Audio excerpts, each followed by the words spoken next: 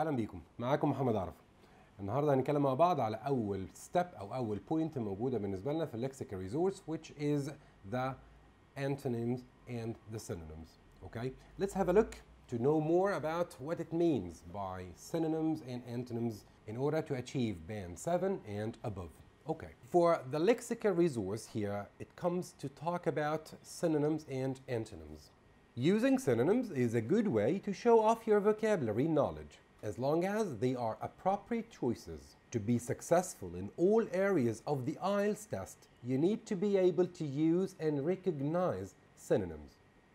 For example, last year we visited Greece and it was amazing. Can you think of another word to use other than amazing? So, what about incredible? marvelous, awesome, stunning, or wonderful.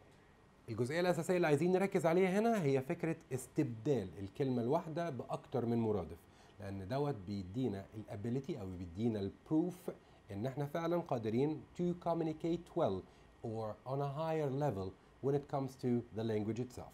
The second point, that's about the antonym.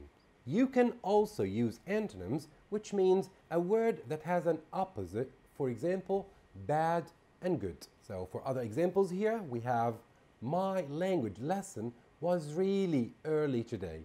So the antonym will be my language lesson was really late today. So we have the opposite between early and late. That's it here, between early and late. For other examples, we have happy and sad, young and old, risky and safe, rich and poor, cool and hot. So all of these here are talking about something that we call as antonyms. الانتونيمز اللي هي المتضادات والسينونيمز اللي احنا بنتكلم عليها اللي هي المرادفات. ده الاساس او دوت اول حاجه احنا بنركز عليها جدا when it comes to how to evaluate your speaking skill.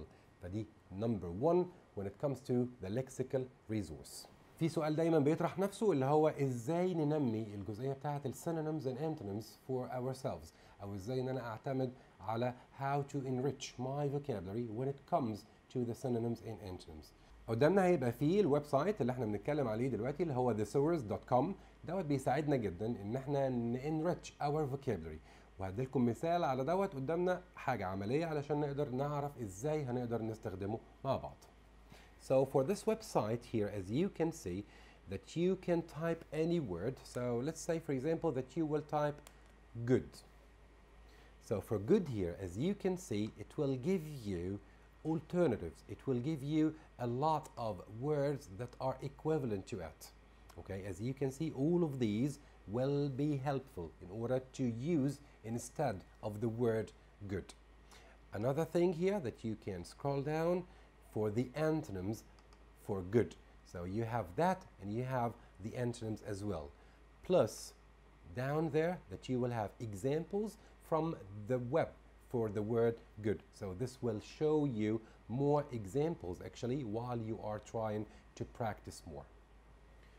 الجزئية اللي احنا بنتكلم عليها هي فكرة how to enrich your vocabulary and how to be able to use antonyms and synonyms effectively. علشان نقدر ان إحنا نكمل أكتر في الجزئيه ديت لازم نبراكتس as much as we can in order to be ready when it comes to any synonym or any antonym of any word. كان معاكم النهارده محمد عرفه اتكلمنا مع بعض على السينونيمز and antonyms the first step for the lexical resource. عشان نعرف أكتر في الحلقات اللي جاية don't forget to like, subscribe and share. See you soon. Thank you.